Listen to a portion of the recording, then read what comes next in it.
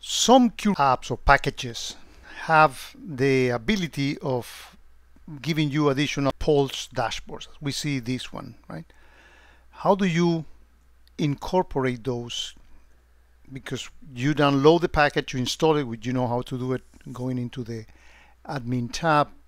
Uh, but that doesn't mean that you're going to get the dashboard here, right? Well, you need to do several things.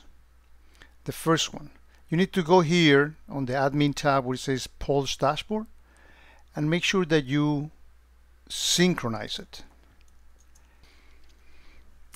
by clicking on this button. I already did that, so therefore there's nothing to be uh, synchronizing here.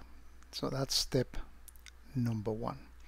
Then you need to go into the actual Pulse dashboard and you go here on the summary view, you go to new dashboard and you're going to select manage templates.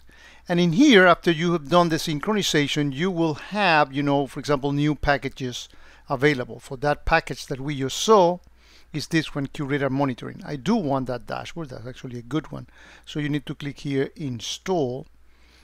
And then once that concludes, which is, should not take very long at all, and you go back to Pulse Dashboard, you should be able to find that one in there as one of the options. Let's see if we find it in here. It was QRadar Monitoring, the name of it. And here it is, right?